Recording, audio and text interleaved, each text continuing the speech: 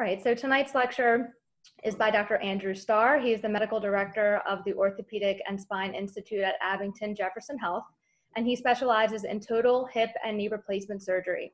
Dr. Star sees patients at our Willow Grove, Chalfont, Doylestown, and Bluebell offices. Okay, very good. Well, thanks so much for having me tonight, and I really appreciate those who've signed on to learn a little bit more about some of the newer technologies that we see in joint replacement. I'm going to share my screen for a minute, so just bear with me while we do a little work here to put up some pictures. And I'll get that going for us here. And so once again, thank you so much for signing on tonight.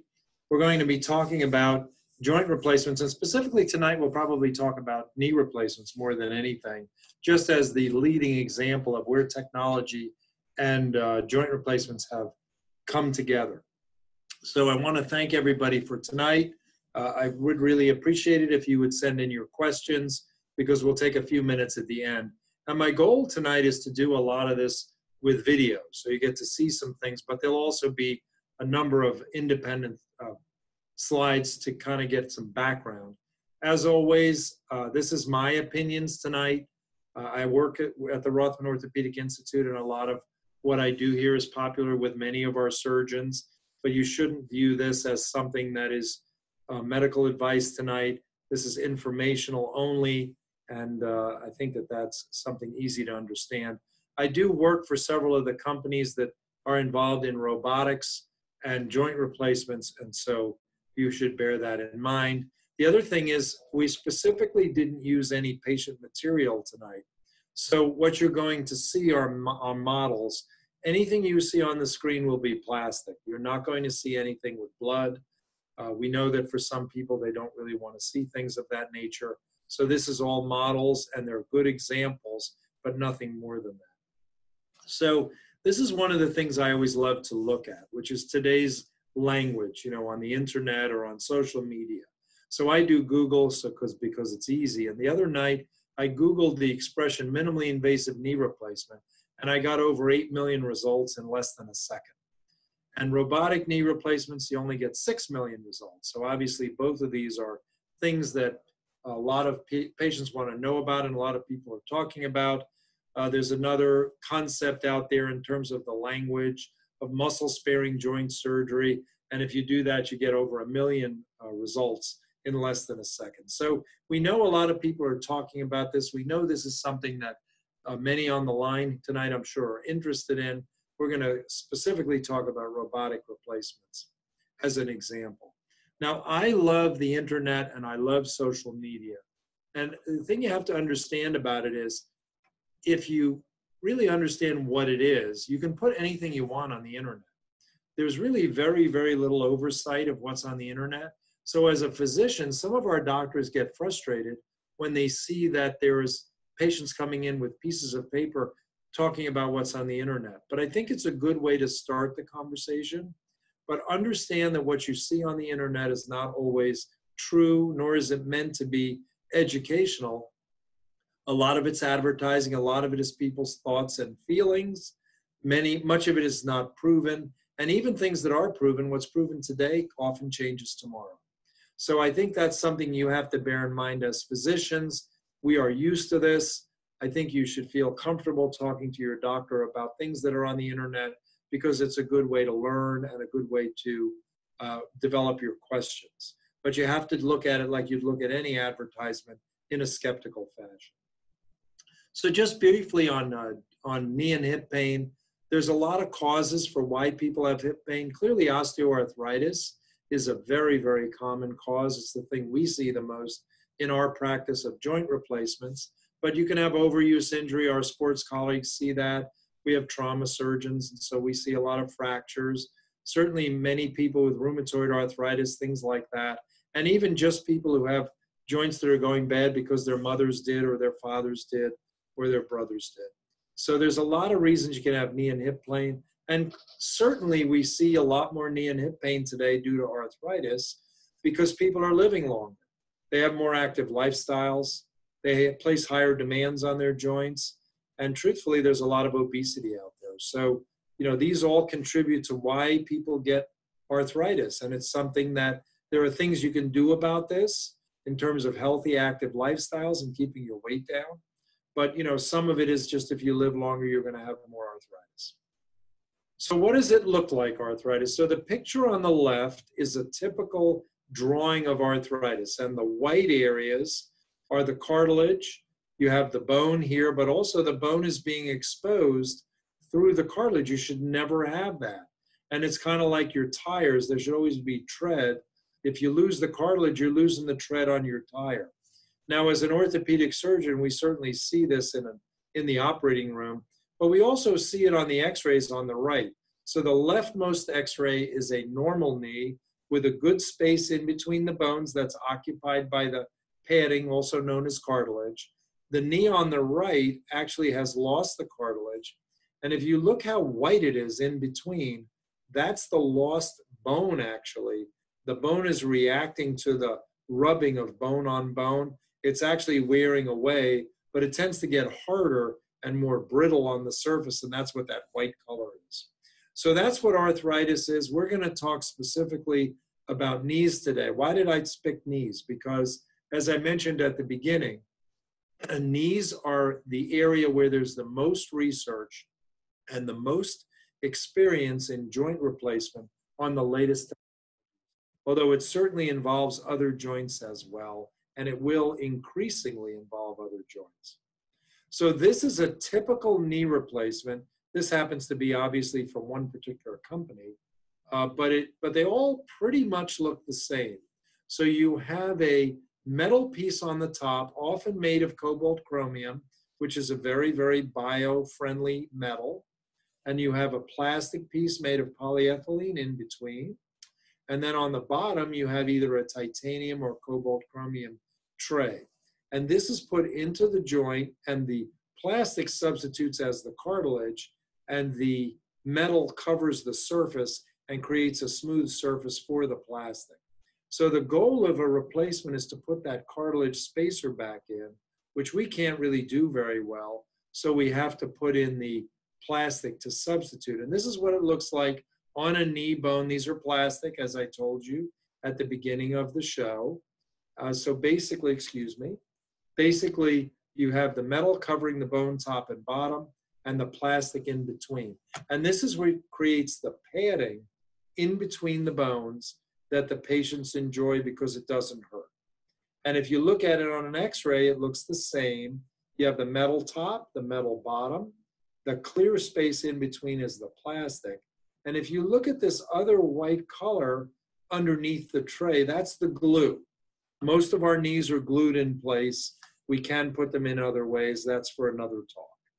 So that's a knee replacement. So if we have these great knee replacements, why would we consider doing something different?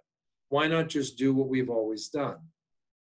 And there's there's obvious reasons for that. And, you know, it's kind of like visiting the desert.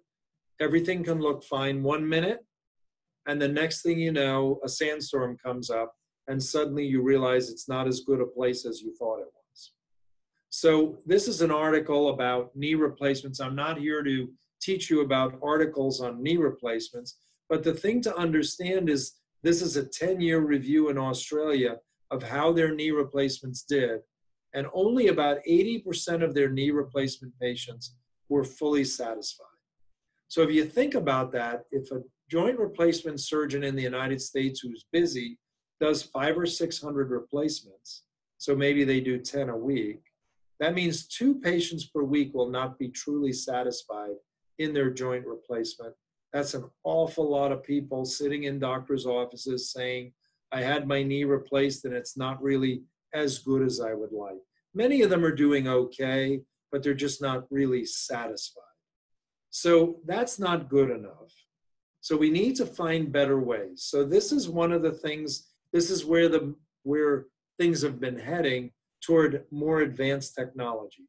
So how have we done knee replacements for the last 50 years or 60 years that they've been available? And the basic way we do it is we do a lot of measuring. So in this leftmost picture, you can see the muscles in this. This is a model. This is a plastic bone. And you can see we have all these devices for making measurements on the bone and measuring the thickness. You see there's this little pin you can use on the top, and that's going to read on this scale here. And you really look at it and you realize how primitive it is. Here's another one of the same types of devices, same model, and they've drilled a hole in the bone to get the alignment. And then they leave this, this jig on the top, and we take a saw and cut through it. It works, it's very successful to about 80%. And it's a good way to put knees in, and we put literally hundreds and hundreds of thousands of knees in this way per year. Probably about 70% of the knees in this country are still done in this way, and it's a good, successful procedure. And we finish it up by gluing it in place. You can see the glue here. You can see the metal component going in. Here's the top part. We hit it in place, and then we're done. Let me show you what this looks like on a video. So here's one of these measuring devices on one of these fake bones. And you can see at the top, there's a slot we're gonna cut through. And as we watch this video, we'll see that we're gonna make lots of adjustments. We can pin this in place. Then we can adjust the, the slide or the, the angle of the tray. And here you see the doctor measuring with his fingers and trying to figure out if we got the bone lined up evenly with the bone that's underneath the skin. That can be a little difficult. We can slide back and forth to center it on the bone, know, and we basically eyeball this. We have the guides. They're very, very helpful. And most times we can get this knee within about three degrees of where we'd like to.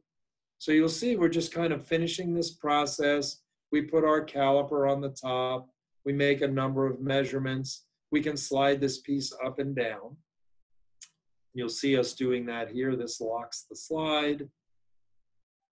Just continuing to watch this here and get an idea of how a knee replacement goes. And then we take our saw, cut through the slot, and remove the piece.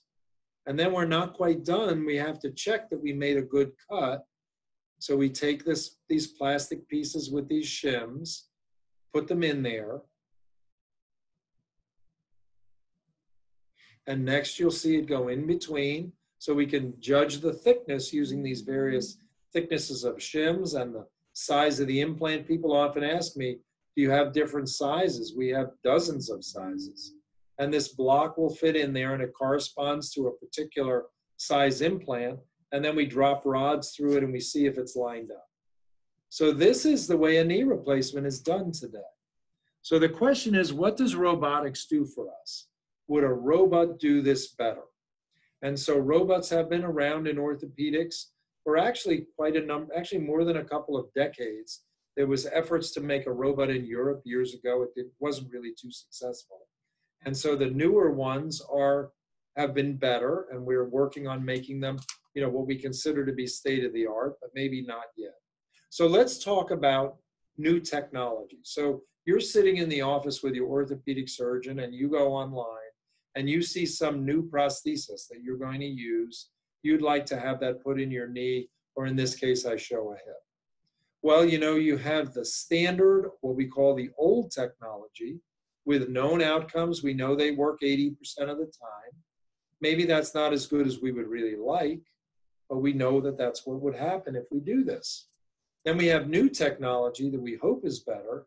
It seems like a good idea based upon the, um, the studies and the research that may have been done in the laboratory in maybe a few cases, but it may be worse, and in some cases, it may really be terrible. So that's the choice that a patient and a doctor needs to discuss when they're looking at new technology. And I don't care whether that's a new joint implant, a new surface, maybe a plastic that's supposed to last longer, or maybe it's a new robot that we're going to use to adjust or judge the joint. So we need to do these newer prostheses and, and, and techniques because we need to try new things in order to make progress. But the question is for an individual patient, is this something they want to be a part of?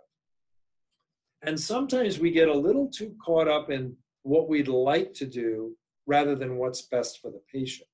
And the patients get caught up in having the latest technology. So I had a patient years ago who came to me because they had gone to a doctor who did a custom total hip replacement which was actually measured and manufactured in the hospital in order to create an implant that was going to fit the patient better. And this is years ago, it's not even on the market anymore. But she was 32 years old when she had it. She picked the latest technology. And six years later, she was in my office to get it taken out because it had failed. And it turns out it wasn't perhaps the best idea. so here was somebody who wanted the newest technology because she was young and felt that she was going to do the best that way. And in fact, it was not successful. So we have to be careful that we don't emphasize process or things that are satisfying because they seem like they're right, but in fact may or may not work, with outcome, which is the true result, how long it lasts, how patients feel about it who've already had it. Do they get back to activity more quickly? So these are very important parts of evaluating new technology. Now, I've been involved, as many of the Rothman Institute physicians, in newer techniques and newer technology for over 20 years. And I will tell you, we've had things that have worked better and things that have not. So I, I really do think we need to do this to prove what's best, but it doesn't mean that everybody should have it today. And this is a good example if you listen to the news or you watch TV on Saturdays and look at the advertisements. These are the metal on metal hip replacements that many of us used 15 years ago and ultimately were taken off the market because they were not working properly. And many of them actually had to be removed, much to the unhappiness of the patients who had them. So we need to be careful.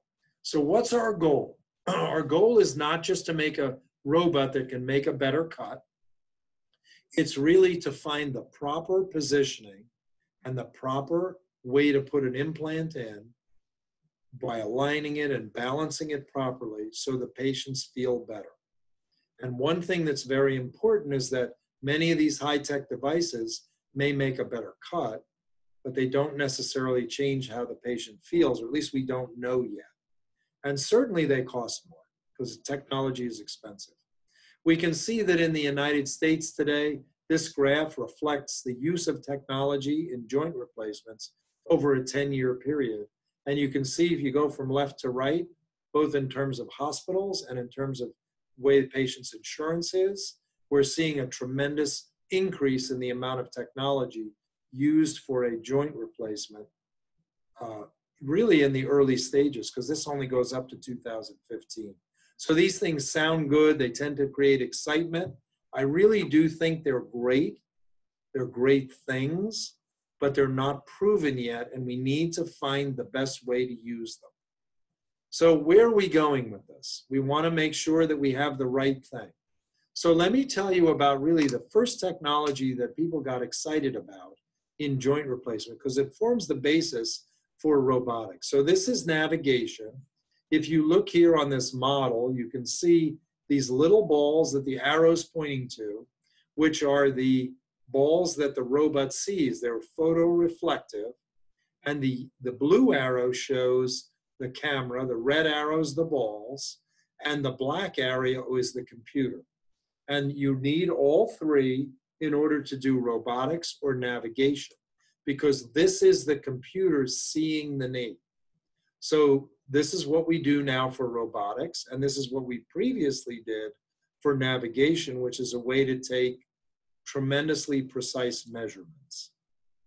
So, what has been found though with navigation is that we did make better cuts, but we didn't change the way that the patients felt. We spent more money, we took longer, but we really didn't make a difference in how our patients feel.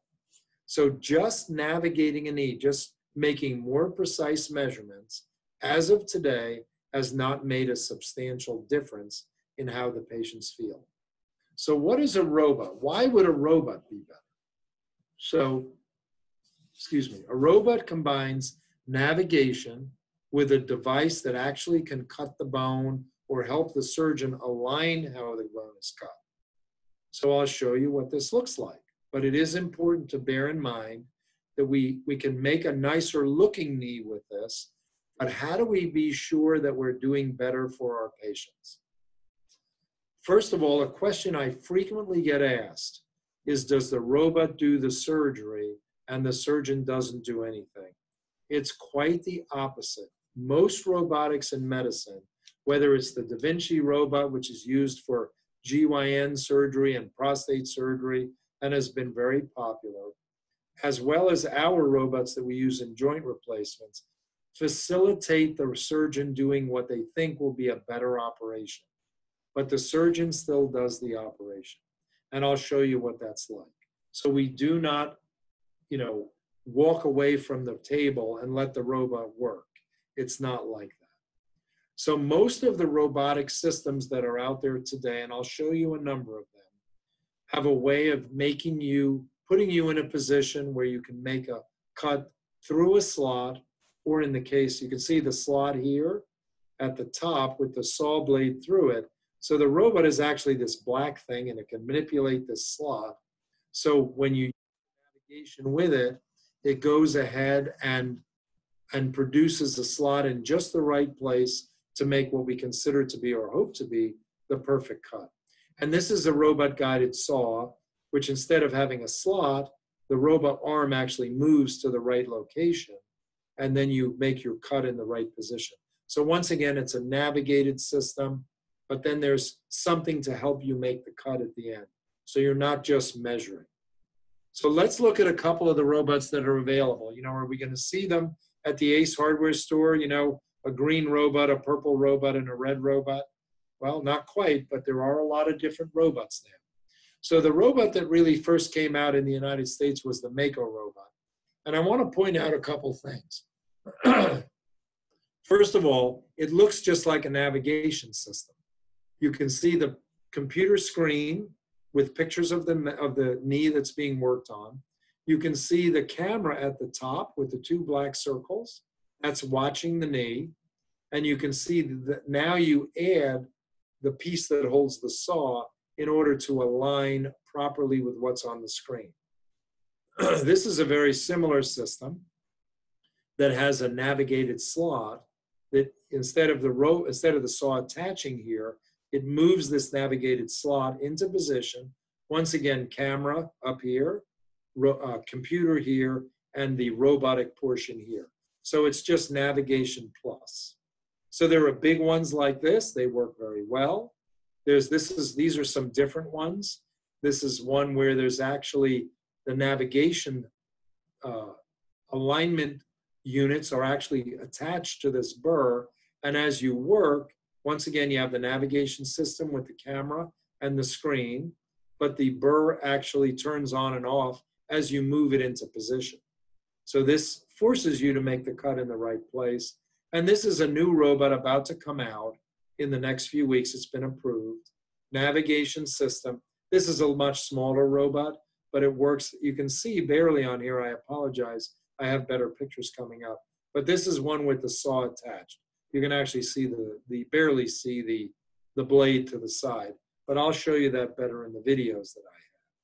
So, and then finally, these are some other ones. I showed you this one already on the right, the Omni.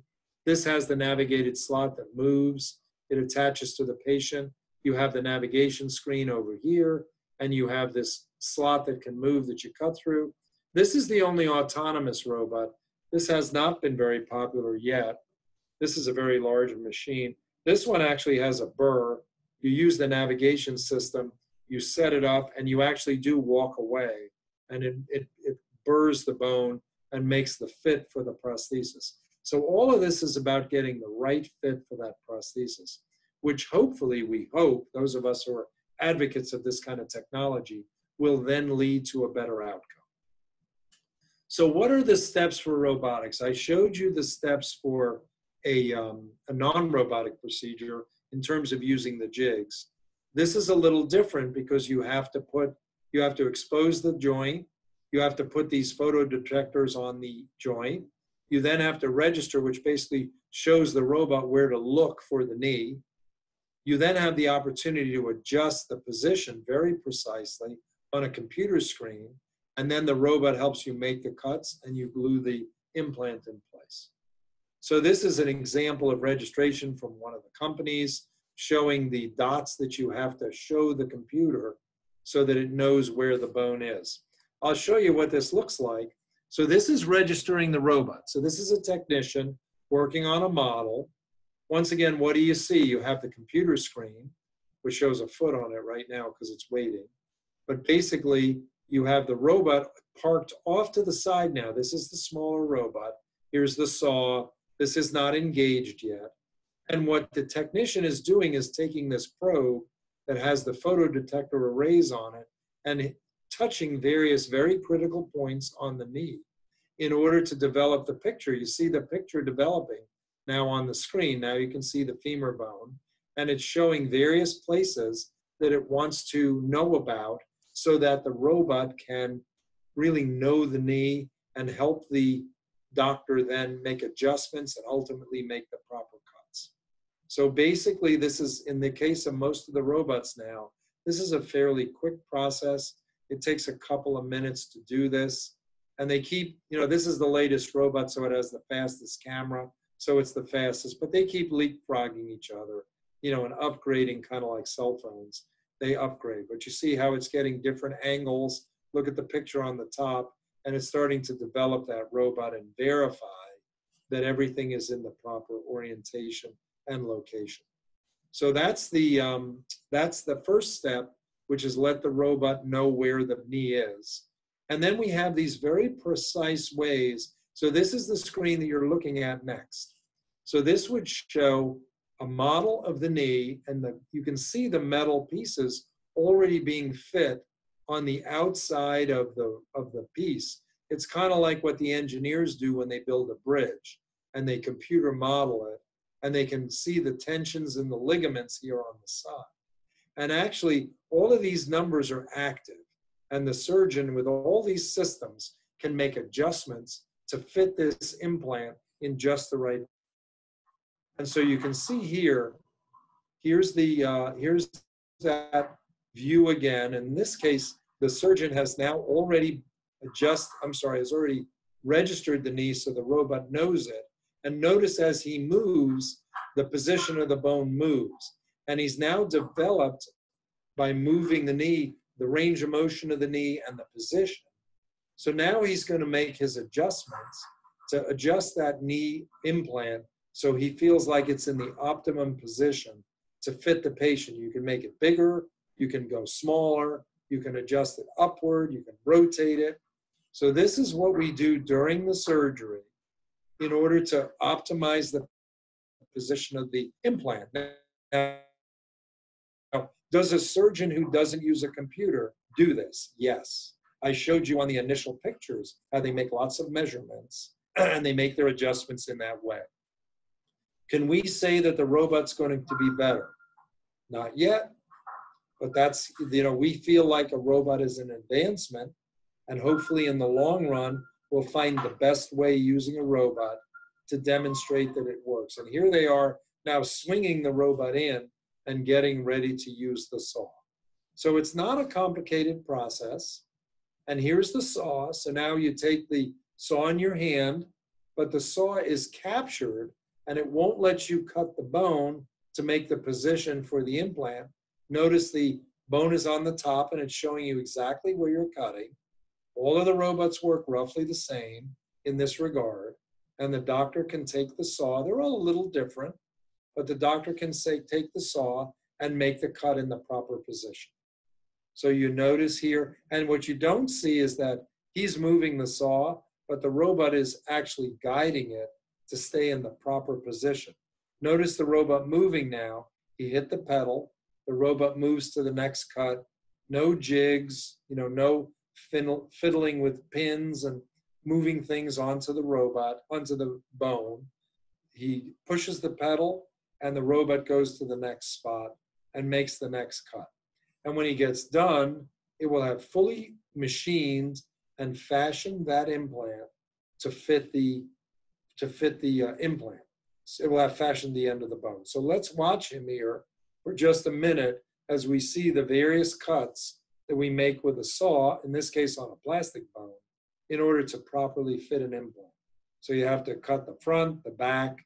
You'll see he's going to cut what we call the chamfers. So when he gets done cutting the back here, he'll hit the pedal, and the next thing that happens is it'll move to the next position. Here we go, and it'll cut again.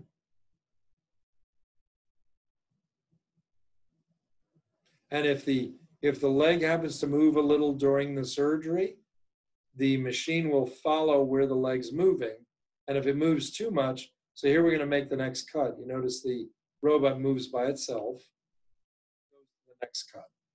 So there's many variations of this. I showed you six different systems. They all work similarly, but they all work um, slightly differently. So let's take a look at this picture. So now we have practice prostheses, we call them trials, and we're going to fit them in there.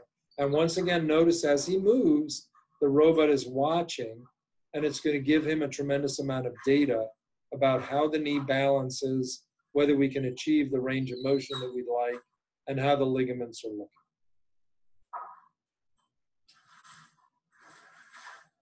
So this is what we do every day in surgery, honestly, whether we use a robot or not. So that's an introduction to robotics in orthopedic surgery. So do the robots really make a difference for the patient who's there? Well, so far we really don't know. There's many studies. Robots have been in use for hip replacements, knee replacements, and partial knee replacements for many years. They're certainly more accurate, meaning they can make their cuts in exactly the place we would like them to. But as of today, although I love robotics and I love the feedback that it gives me as a surgeon, I can't look you in the eye and say that it's absolutely proven that a patient with a robotic knee is going to do better than what our very experienced surgeons, 70% in the United States, who don't use robotics. I think robotics are ultimately going to give us an avenue toward a better knee or a better hip, but we can't prove that yet. So what's the problem? Well, there's a lot of different kind of robots. There's a lot of different kind of technologies. There isn't 100% agreement about the best way to do a robotic knee or to do a knee in general. But my belief is if we don't try it, then how do we get better at it? Our existing technology, we know the problems, the new technology, bear in mind, if you're one of those people who wants the new technology, there's a good chance it may be better, but there's also a good chance it may not be, or it may be worse. So bear that in mind. You need to do some research if you're contemplating these. Speak to doctors who do them and those who don't, and try to get an honest viewpoint as to whether it's truly better. What's my thought on robotics? And this is me, this is very biased. But we're studying them. We think that we're going to achieve better results. We believe in the technology but that hasn't been shown yet. And maybe even the ways we're doing it now need to be improved to really make that difference. So it's not just that we haven't proven it, it's that maybe there are different ways we need to develop that have not yet been developed. Cost is an issue, it is an expensive procedure. Most of those costs are borne by the healthcare system, which you may not be paying directly, but we all pay indirectly. Who should be using this and who what patient should be choosing it? Well, be, beware of the fact that if you do something new, you are also taking a little more risk for the potential for gain. So you need to decide if that's something you want to do. I don't advise people to have robotics or not. I do an awful lot of it, but I also do replacements still without the robot for a variety of reasons. And some people request that we do them without the robot for the reason that if it's not proven, you know, very, very well, they don't want to take that chance. So a plug for the Rothman Institute. We've been committed to these types of technologies, doing navigation for over 15 years, over 10 years of doing various types of robotics and other computer guided techniques for joint replacements. We've already published a number of studies but you know, they're they're early studies. They're studies based upon a few years. They're based upon secondary data, things like do the X-rays look better? Do the you know do the measurements we take look better? You know, is there less you know uh, what type of technology do we have to use with it? Are there risks to the procedure? But you know, the holy grail is really going to be: Do we have patients smiling who are telling us that their knees are doing fantastic, and instead of 80% of the time, they're doing it 90 and 95% of the time. So I hope you found this interesting. I covered a lot of territory in 35 minutes, including how to do a robotic knee, but don't, don't forget that still more than half the knees in this country are done successfully by orthopedic surgeons without robotics. But people like us at the Rothman Institute and other educational centers are always going to lead the way in finding the latest techniques and developing the best way to do a replacement, whether that's a new pain control technique so that you can get through the surgery and the recovery with a smile on your face, better implants that are going to last longer, and as in my case, the robotics, which I love to work with. But we have over 30 full time joint surgeons, and many of them are working on a variety of ways to improve the way your joint replacement can be done. So I'm going to stop sharing. And if there's any questions, I see we have a couple. We can go ahead and, and go ahead and ask the question. So I think we're going to have Natalie ask the question for us, and we'll go ahead and uh, go from there. Sure. So the first question is what what types of knees do you use? Have there been any problems with the knees?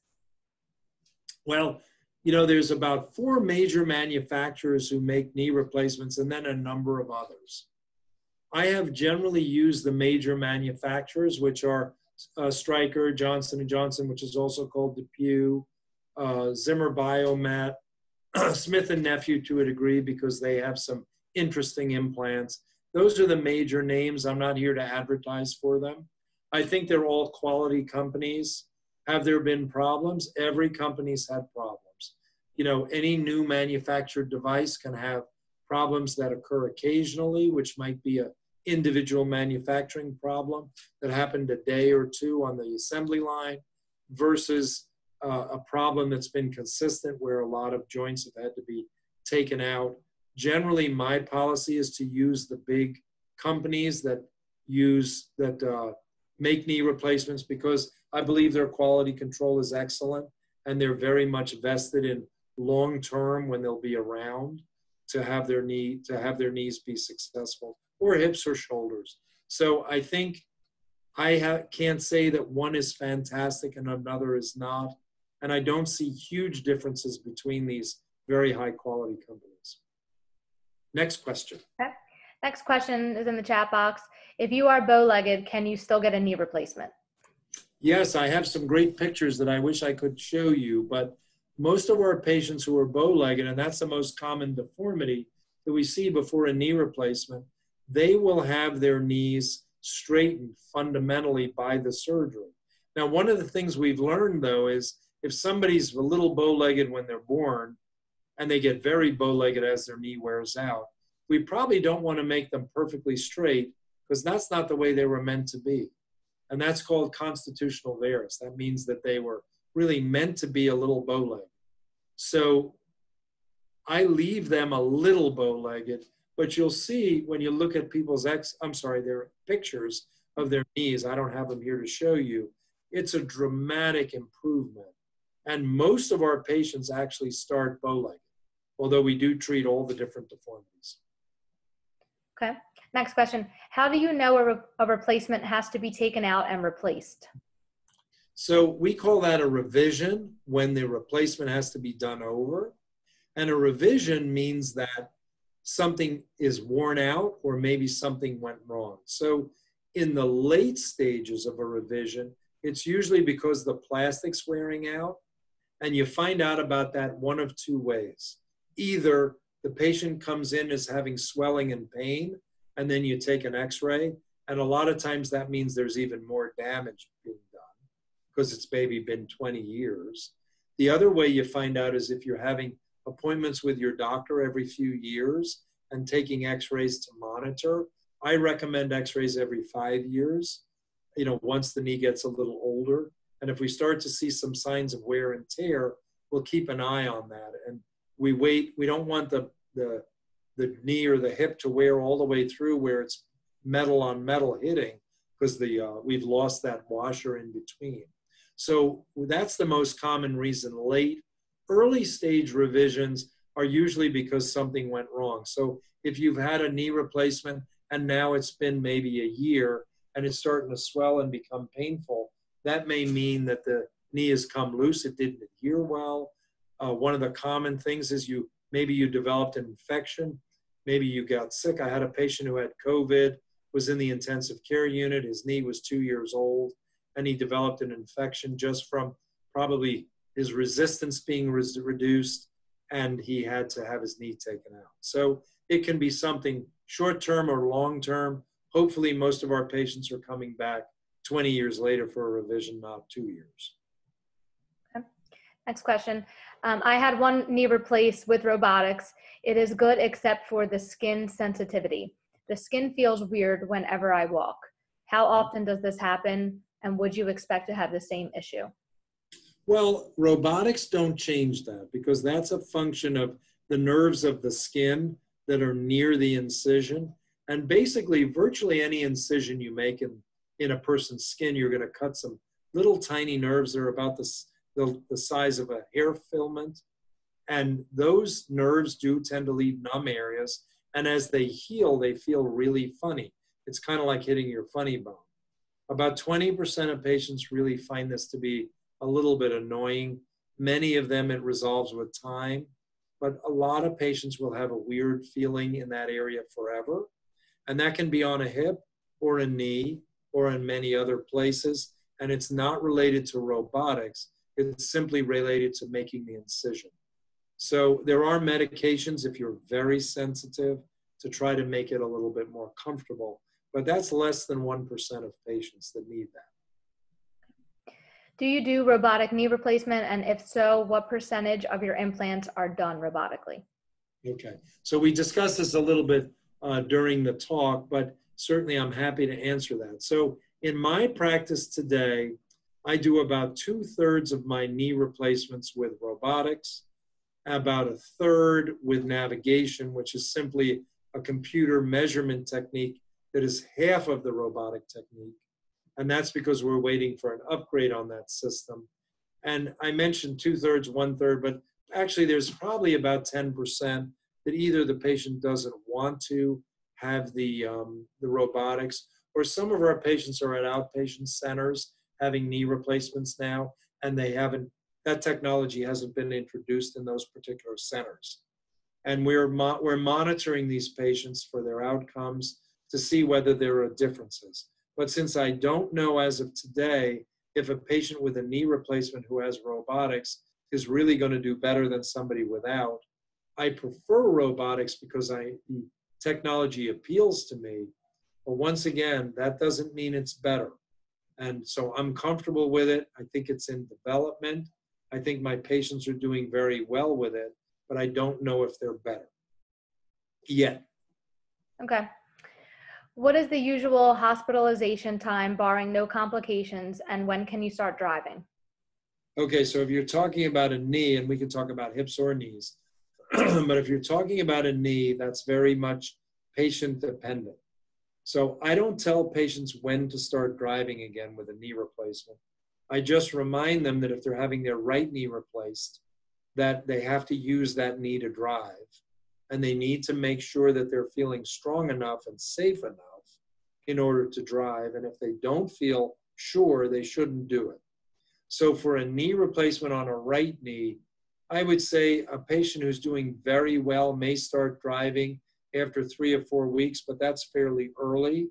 Many of them are waiting six weeks or more. For a left knee replacement, of course, that's not your driving leg. So I tell the patients to have to drive when they're not taking any strong painkillers like narcotic, so that they are not really driving impaired, and when they feel comfortable enough that they can be attentive enough to go ahead and drive. So I tell them to be careful, but many of them may start driving in a couple of weeks for a left knee. Okay. And what is the recovery time when compared with standard knee replacements? Is it the same? It should be, as of today, we would say it's the same. You know, there's no reason to think that with what we've done now, that patients are going to get better faster. There is some thought that maybe a patient will get better faster because the knee function mimics the natural better, but that's only a theory. So I would say to patients, once again, if you read about the technology and it appeals to you, you know, research it, see if that's something you want. I've had patients come in and say, look, I looked at robotics and I realized the state of the art is good, but it isn't necessarily better. And you've been doing part uh, knee replacements without it for over 30 years. I'd rather have a regular one. By the way, it is the same implant. It doesn't change what we use. It only changes once we get inside how we do it. How about the infection rates? Um, do they differ when compared to standard knees? Not as far as we know. You know, infections are something in knee replacements that are very worrisome and they're hard to cure. And there's all kinds of data about whether they're half a percent or 1% or 2%. And that can vary with your health problems. They can get up over 5% if you have a lot of other serious health problems that affect your legs. As far as we have seen so far, there's no difference in the infection rate between a standard knee and a, and a robotic knee because actually it's really the same operation. It's just how we make our measurements and how we position the saw. Okay, well, that brings to the next question. Does the surgery take longer when compared with a standard knee replacement? You, you know, a lot of the time factors depend upon the surgeon and how fast they take just in general doing a knee. I would say, having done a lot of robotic knee replacements, that it is slightly longer. You know, is that 10%? Is that 25%? Um, that's a good question. It depends a lot on the surgeon and their degree of familiarity with it, as well as it depends upon the amount of how big your knee is. You know, a knee can take twice as long if there's more work that needs to be done and more reconstruction. Now, the robotic companies, and granted they're trying to sell robots, say, well, yeah, but if you look at the overall on knee replacements, because of the fact that a robotic procedure is more precise and measures better, maybe you don't have to make late adjustments. In other words, you put all the trials on, you, you think the knee's good, and you check it with a regular knee, and it doesn't fit quite how you like it. So you have to adjust and use a different size implant. I still think there's a slight robotic time penalty. That's, I think, where we are right now. Not everybody agrees with that, but that's what my experience will tell. Just in time. Okay, and how do you decide on the best implant for the patient? It, does it determine their age, their activity level, the weight of the patient, and how long does the average implant last? Well, as this questioner asks, you know, probably these all come into account. You know, there's certainly situations where we know implants are at greater risk. And there's been a lot of advertising over the years from companies, once again, with new technology that may or may not be that well proven, looking at things like female knees, uh, custom knees, you know, and a lot of these things have yet to be proven that they're truly better Years ago, there was a lot of what we call the high flex knees, which were designed in order to provide better flexion for patients, meaning you could bend your knee further. By the way, developed for the market over in the Asian countries where there's a lot more kneeling for praying and kneeling in general. Uh, a lot of this hasn't been borne out. I will say, though, that we do modify our implants for serious abnormalities in the knee. So if somebody has a lot of bone loss, we may have to use pegs or stems or wedges. With somebody who has a lot of deformity where the ligaments are damaged, there are pins that are used to better stabilize the knee. So having a surgeon with a lot of experience who's aware of all the different types of implants, I think is something that may benefit a patient with a very bad knee. And you know, this is something that obviously we do such a high volume of knee replacements our facilities that we are very comfortable that we may have to say to a patient, you know, this isn't going to take just this regular knee that I have a model on on my desk. I may have to use some additional devices as part of the knee replacement that may make it a little better. The other thing is, you know, we're working through the non-cemented versus uh, information. So we know that, you know, some patients are still having their knees glued in place and other patients are having them done without glue. Many surgeons are using both, but it's probably better suited, at least so far, we're more comfortable using it in patients who have pretty good bone and, you know, we know that the bone is going to hold the implant. And we're hopeful that that may provide a more durable fit and fixation. But just like robotics, we know they're safe, but we don't know yet whether they're better. So there's a lot of factors we take into account. And I, I would just say to you, you know, go to somebody who's experienced with dealing with more difficult types of knee replacements if you're somebody who has a, a situation where the knee is looking like it might be more complicated. Okay, and how about the quad sparing? Do you do do you do quad sparing? So quad sparing is a very interesting and controversial technology. So this is the technology that's often advertised as we don't cut the tendon. And that means that instead of going through the main tendon that runs up the front of your thigh, which is called the quadriceps tendon, you actually cut to the side and you work a little more from the side. Now, the potential advantages that are advertised are that there's a faster recovery and that the patients can get back to their functional uh, use of their knee more quickly. Some people also claim that there's less pain with a quad sparing knee. I do happen to do that technique because I was taught it 20 years ago. And I think it's a good way to put a knee replacement in. But as I sit here today after 20 years, I'm told by my physical therapist that my patients get better quickly and that they do well. But is that just us putting the knee in properly? Does that really reflect a quad sparing knee? And numerous studies have shown that if you take a group of surgeons who do quad sparing knees versus those who don't, it really doesn't show a huge difference. So is it really just, you know, better surgeons do better surgery, or is it, you know, some nuance of this technique?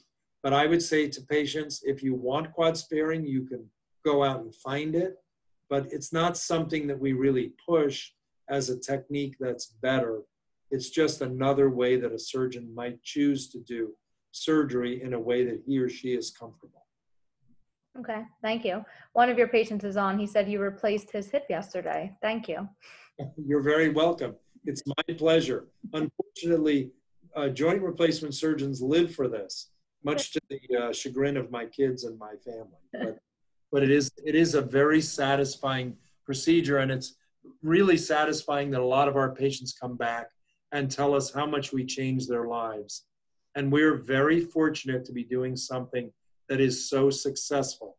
I take my hat off to many of my colleagues who do much more difficult types of surgery where the patient outcomes are not as certain, you know, in cancer surgery or other things like that. And it takes really a special person to do that type of work. Amazing. There's a couple of more questions. Um, I know we're running low on time, um, so we'll we'll give a few more if that's okay. Um, somebody asks if you can explain knee replacement revision and what that means. Okay, so a revision knee replacement is like putting new hinges on your door when they've come loose. So you know how the screws start to come loose and you tighten them a couple times, and after a while, the screws become not good enough. They're not big enough.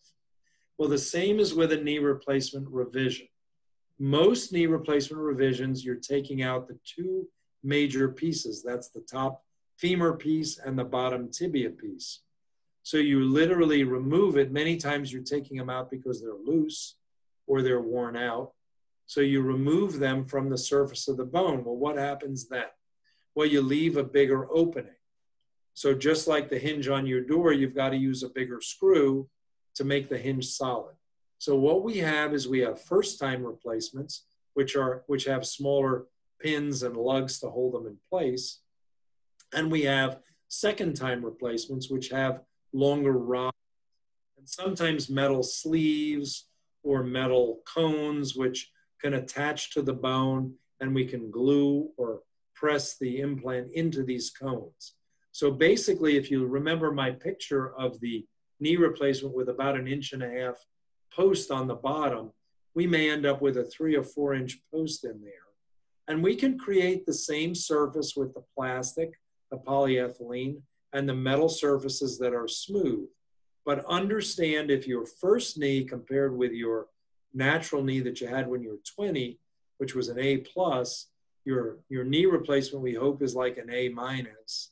A second replacement may be a B or a B plus because now you have more scar tissue, you've taken out more of the bone, and the implant has to work a little harder to support you. So it's a good thing if you need it, but you certainly don't want to have too many knee replacements in your life unless you really need to. Okay, and on that, um, does the clicking of the knee getting worse, is that an indication that a revision is needed? Not necessarily, but it can be. It is a sign that could be something as simple as a little scar tissue, and that isn't serious at all.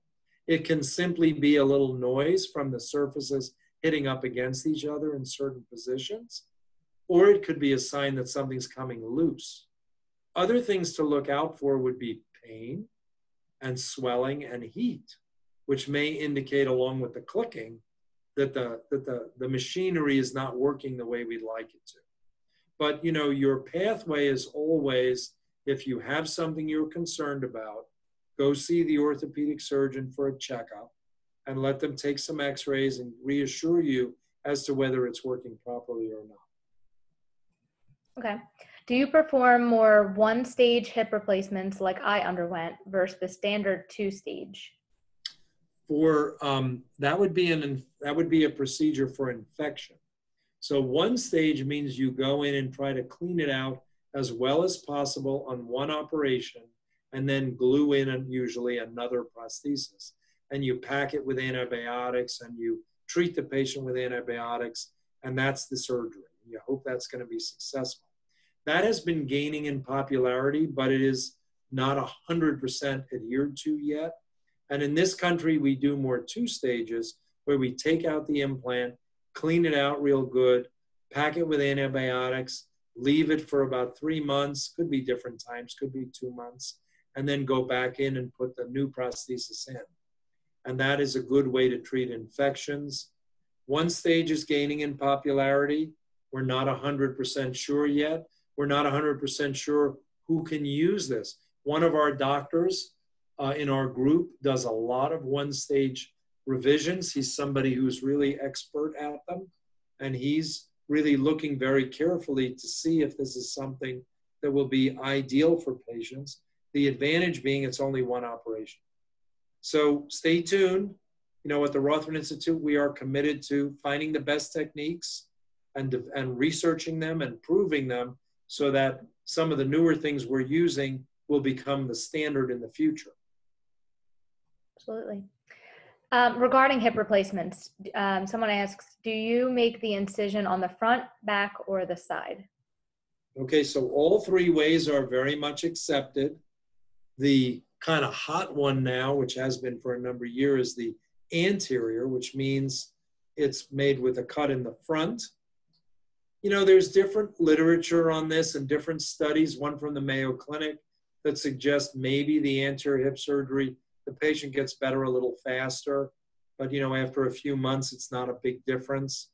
You know, studies of complications are no longer showing a big difference among all of these techniques.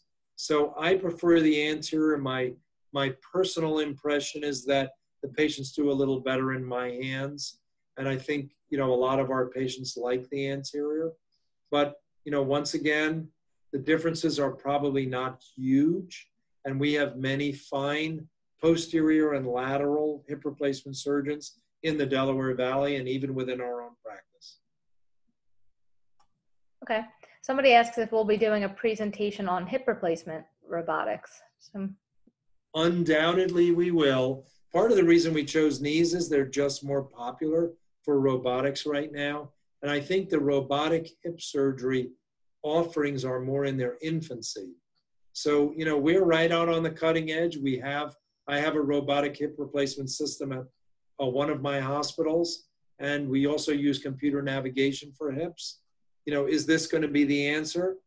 You know, if you want to find out, stay tuned to some of our webinars because we will certainly be talking about them and the thing is, we will have people get up who have a lot of experience with them. Absolutely. And so one last question. If a posterior hip replacement is done, should the affected leg be a little bit longer? It's certainly not unusual that it could be a little bit longer. You know, we've seen patients who have huge differences in their leg lengths to start, and we can't fully correct them. But also, you know, making the implant fit and be stable with all the muscles, tendons, and ligaments may result in a leg that's sometimes a little bit longer. Plus, your leg may be longer because you have a little scoliosis, you have a crooked knee, you have a collapsed ankle from arthritis. So it's impossible, even with, I use a computer system for this, and even with the computer system, it doesn't come out perfectly. And this doesn't mean to say that I'm a computer guy, you probably figured that out. That doesn't mean to say that mine are any better than the other surgeon, and we have, you know, plenty of male and female surgeons who do these through all kinds of different technologies. Um, we haven't beat the patients feeling like the leg is longer or shorter yet because there's so many factors that go into it. My guess is we won't until we get to machine learning and augmented reality, which, by the way, are coming. So stay tuned. All right. Okay, well, I think we're out of time here. Um, if anybody has any questions um, after you know after we end tonight, um, you can feel free to email us at marketing at rothmanortho.com, and I'm happy to you know get your questions answered.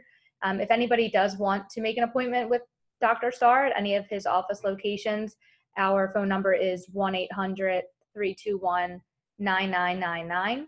And our website is rothmanortho.com. You can always go on there to, um, to view our physicians, our locations, and, and different services that we offer. So thanks so much for, for attending, and thank you so much, Dr. Star, for your excellent presentation tonight. My pleasure to be here. Thank you. Thank you. I hope everyone has a great night.